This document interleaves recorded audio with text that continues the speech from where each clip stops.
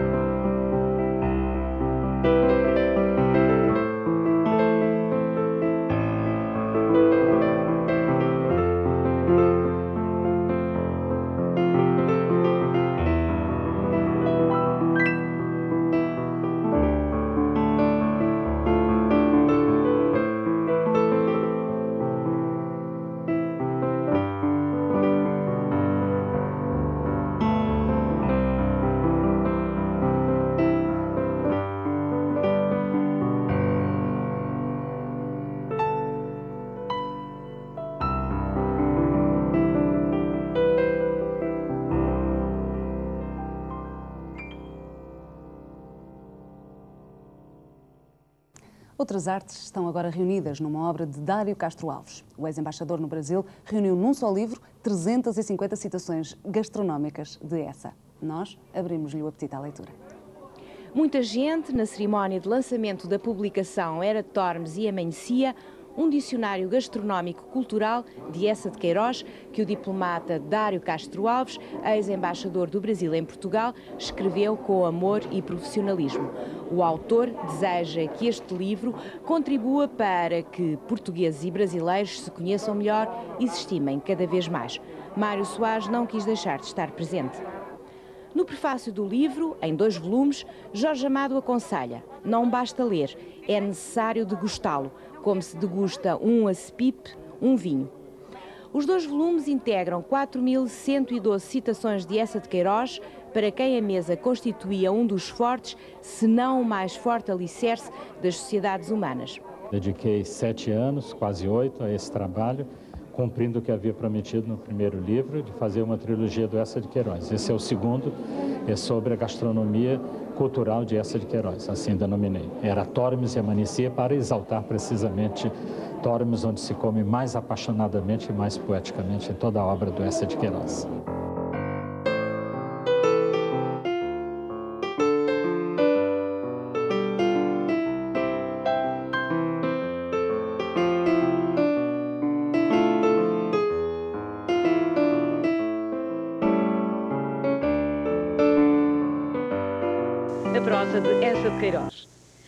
Sobretudo aquelas passagens de A Cidade e as Serras em que o autor se detém nas gloriosas descrições da mesa do seu tempo.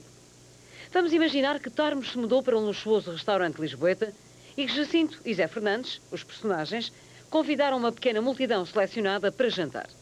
Melchior, o caseiro, encaminha os convivas, acabados de tomar um aperitivo para amortecer o entusiasmo. O resto da história do jantarinho de suas excelências, deixemos-lo por conta de quem sabe exatamente o sabor das palavras. Tiramos de hoje o jantarinho de suas excelências de A Cidade e a Serra, que é a chegada de Jacinto Zé Fernandes a Tormes, naquela manhã luminosa de maio. É um jantar rústico, muito interessante, muito português, muito do norte, muito fidalgo e muito simples ao mesmo tempo. Esse jantar começa, a mesa está pronta, servida, onde há uma malga de barro atestada de azeitonas pretas, na coda de um imenso pão, um imenso facalhão, vocês podem ver aqui sobre a mesa. O vinho de Tormes, vindo de lá, especialmente enviado pela Fundação Essa de Queiroz. Caldo de galinha com fígado e moela e que recendia, que é a entrada do, do jantar. O arroz com favas. Há um louro frango assado no espeto. Uma salada temperada com azeite da serra, digna dos lábios de Platão. O azeite que se serve aqui hoje é da serra. Sobremesa não havia, não estava previsto, porque o jantar é muito rústico. Mas os jantares queirozianos não se ficam por aqui. Ora, essa, essa de Queiroz vai proporcionar mais três entre junho e setembro. A começar no modesto passadio de um humilde filósofo, proveniente de O Primo Basílio, e a acabar no jantar vernáculo e patrício, em casa da tia Vicência, de novo cozinhado nas páginas de A Cidade e as Serras. No fim, sabe-se qual a reação. Basta consultar o romance onde se lê Ah, jantamos deliciosamente sob os auspícios de Melchior, que ainda depois, próvido e cautelar, nos forneceu o tabaco. Fernando Lopes e eu tivemos a ideia de utilizar este maravilhoso patrimônio que é o, o restaurante Tavares, no sentido de dedicar um ano, especialmente a ideia de promover uma série de jantares querosianos, quatro por ano. Pessoas que participaram do primeiro jantar, praticamente quase todas se inscreveram para o segundo, que é o jantar do conselheiro Acácio, para celebrar a régia graça da condecoração que ele recebeu e que é um jantar muito, muito interessante. Não somente como ementa, como o menu, mas também como as conversas que se desenvolveram nesse jantar. Teremos um, um outro jantar querosiano em 30 de setembro, Vamos ao Arrozinho Gertrudes, do crime do Padre Amaro, que é o famoso jantar do abade da Cortegaça, que é um jantar também muito interessante pelas comidas e pelas conversas.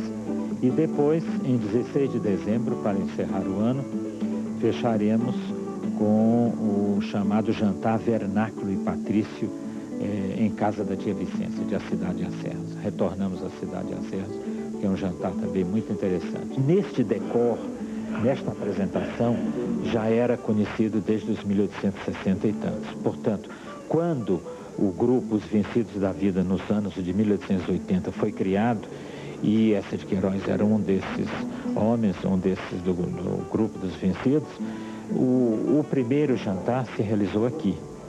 Consequentemente, a, a, decoração e o ambiente a atmosfera não poderiam ser melhores do que esta, porque este é o restaurante tradicional é, de Lisboa, o único restaurante que pode dizer que está no seu lugar há 200 anos, há mais de 200 anos. Está programado já que o primeiro jantar de 1994 será é, baseado numa emenda de Jorge Amado.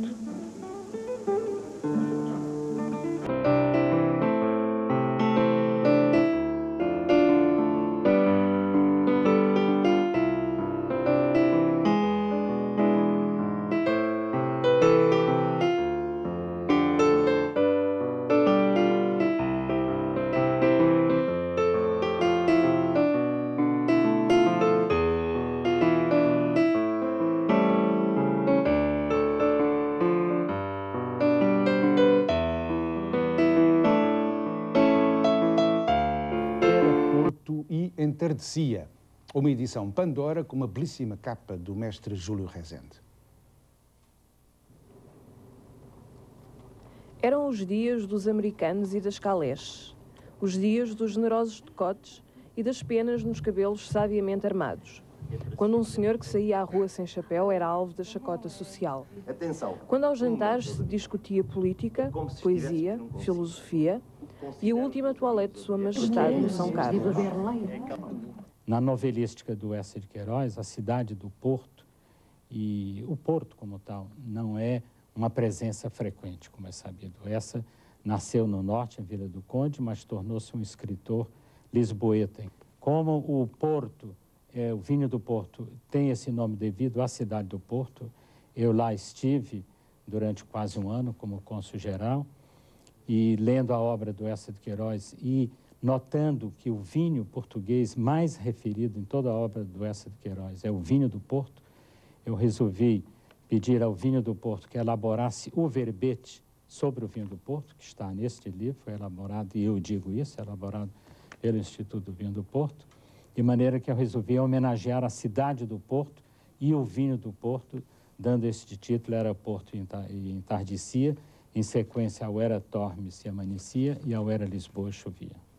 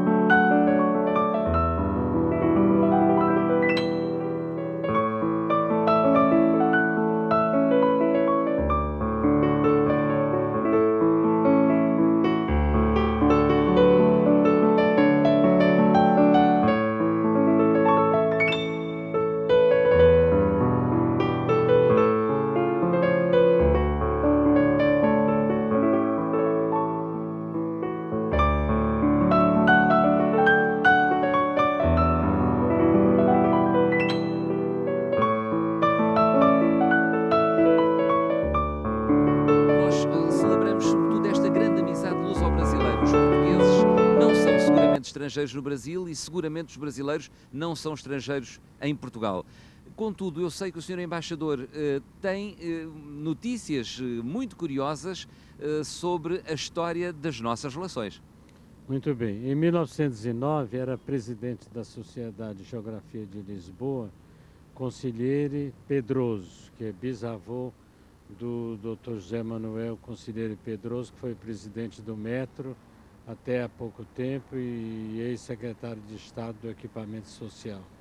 Este homem concebeu um, um plano em 1909 de se criar uma confederação luso-brasileira, uma união verdadeira entre Brasil e Portugal em todos os domínios possíveis, econômico, comercial, tecnológico, científico, cultural, jornalístico, turístico, comunicacional, etc. Não houve campo de ação em que esse projeto não, não estiver, ao qual não estivesse ligado esse projeto. Basta dizer, só para lhe dar uma ideia, que já então, na, por aquele projeto da Sociedade de Geografia, que foram então aprovado por unanimidade e merecer elogios no Brasil e aqui, se estabelecia o reconhecimento automático e imediato dos diplomas de escolas superiores de um e de outro cidadão num e no outro país. Imagine a modernidade desse tratado, desse, desse projeto Possível. de tratado. Eu acho que hoje Brasil e Portugal estão dentro de uma comunidade nos termos em que é possível traçar e desenvolver-se. A comunidade, aliás, existe com esse nome, eh, consagrada no Tratado de 16 de novembro de 1953, assinado no Rio de Janeiro pelo embaixador Antônio Faria de Portugal e pelo ministro Vicente Raul do Brasil. No preâmbulo e no artigo 8 daquele tratado, que está em, em pleno vigor, digamos em pleno vigor até hoje, porque amanhã será assinado em Porto Seguro, segundo eu estou entendendo, um tratado grande da natureza ampla, do tipo que se chama Tratado Quadro, que abrangerá e envolverá e absorverá numerosos atos internacionais entre Brasil e Portugal.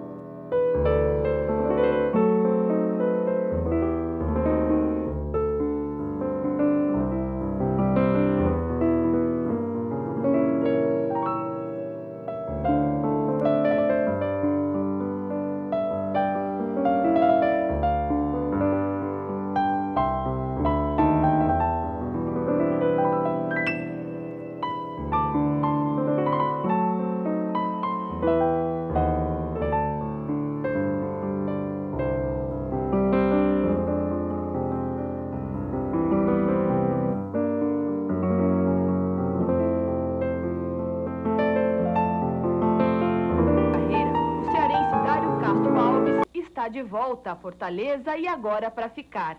Durante seis anos, esteve longe do país para ser embaixador do Brasil em Lisboa. E por lá, adotou Portugal como pátria. Hoje mora num apartamento espaçoso de frente para o mar de Iracema. Aqui, cada cantinho tem uma história para contar. Com decorações, lembranças e muitas, muitas personalidades que o embaixador conheceu durante toda a sua trajetória profissional. Ele se emociona quando mostra uma joia em ouro branco cravejada de pedras azuis e vermelhas, presenteada pelo imperador do Japão. São coisas que constituem uma história, uma história que fazem a história pessoal nossa ao longo, que tudo tem uma história. Fotografias com personalidades, presidentes importantes, são lembranças que faz Dário Castro Alves voltar ao passado. O general Geisel, devo dizer, porque eu vi muito de perto, fui ministro dele sete vezes como ministro interino, o Azeredo Silveira era o ministro permanente, e eu fui, tive com ele com muita frequência e fiquei profundamente impressionado com a seriedade dele, a dedicação, o esforço de resolver os problemas do país. As obras de arte estão espalhadas por todos os cantos do apartamento.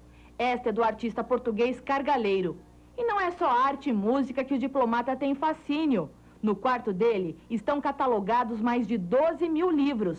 E acredite se quiser, até um do ano de 1544. Está na coleção. Mesmo com tanta coisa para contar e seis idiomas na ponta da língua, o jornalista tem um sonho que ainda não realizou. Durante oito anos, trabalhou sozinho na maior obra poética russa do autor Alexander Pushkin.